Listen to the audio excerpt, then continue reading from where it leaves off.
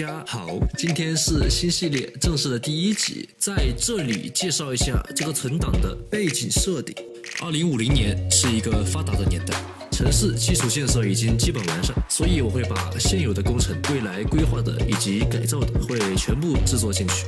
今天要做的是现实中南一环的一部分，也是一个 CSUR 高架上下匝道以及地面辅路的实力教程。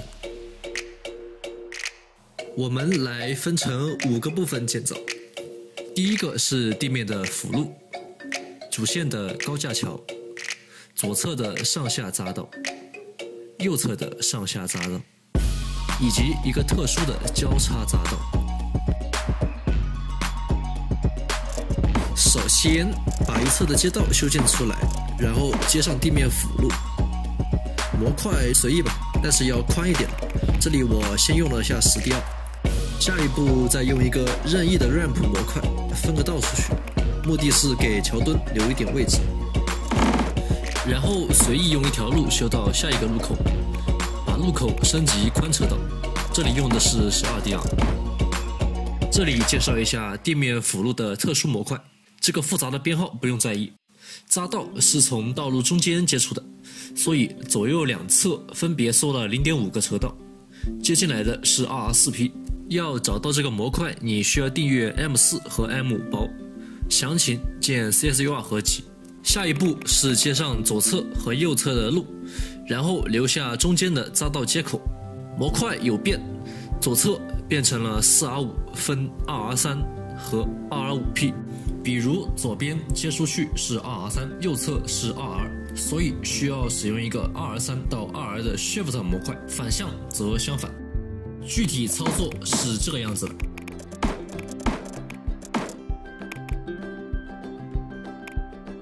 然后我们来看外面的两条路，左侧是 2R5P，右侧是 1R6，这里就需要两个模块对接，从 2R5P 到 1R5P，1R5P 到 1R6。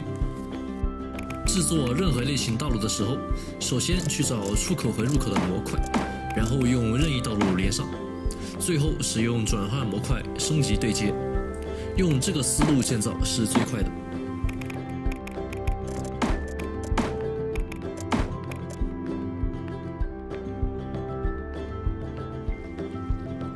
现在来建造另一半的上下匝道以及交叉匝道，修好要上高架位置的匝道口，其他接口使用之前的思路建造。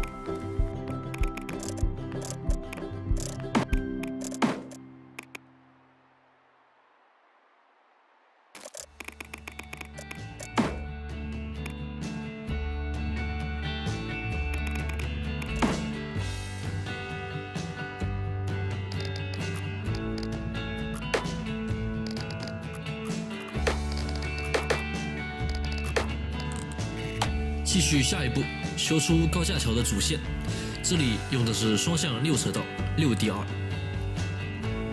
然后要在主线三车道的情况下分出匝道二车道，在前面修建两个拓展模块，用来接上一二三，也就是三 R，下面选择一二三，上面选择一二三四，拓宽到四车道，五车道即向右多选一个数字。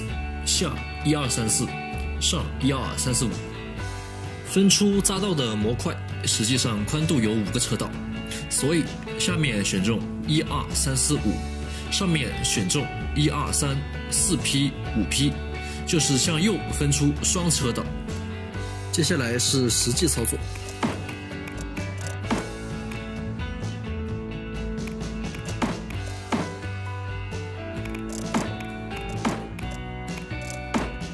在对接左侧高架匝道的时候，发现地面宽度不足以容纳这两条匝道，所以我将高架整体拖开，改造地面的模块。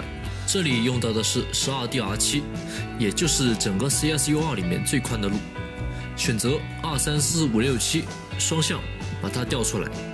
上高架的匝道需要分出二 R 五 P，下面选择二三四五六七，上面选择二三四 P 五 P。七，把先前的路口升级成三 P、四 P、五 P、六 P，双向，也就是八 DR 六 P，然后分出匝道 ER 七，把之前的地面路拆掉，重新来找出口与入口。左边内侧蓝色接口是 2R3，右边是 3R5P，只用两个转接口，下 R3，上三 P 四 P，下三 P 四 P，上三 P 四 P 五 P，。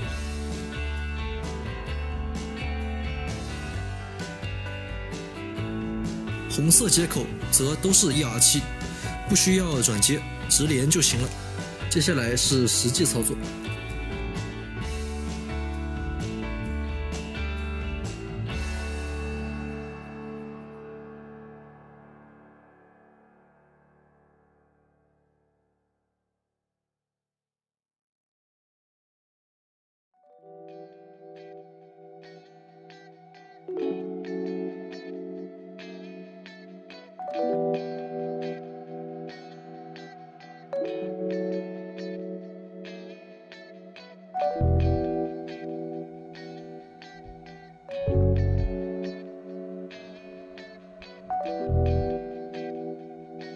多次调整过后，把高架桥归位。另外一边也用同样的方法升级，然后连接上匝道。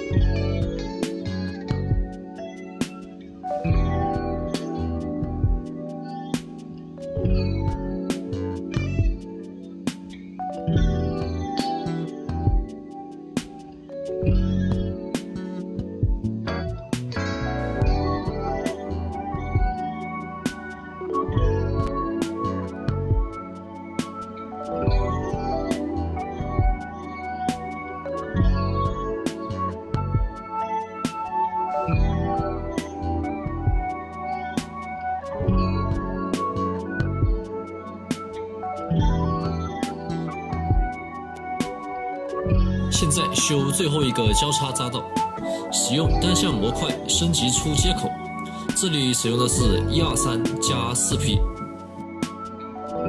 地面接出二四 P，高架接入一 R 四 P，下选择三 P 四 P，上选择四 P，把二车道转到一车道，再平滑好坡度，匝道就完成了。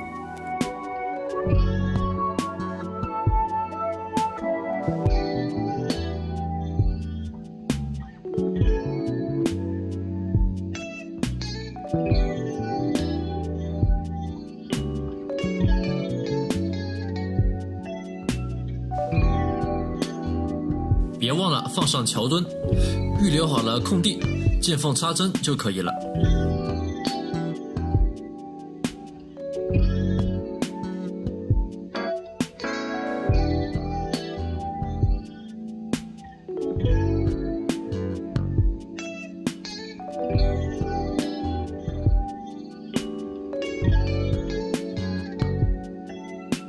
使用 Find It 搜索 Middle，可以填补高架中间的分隔带。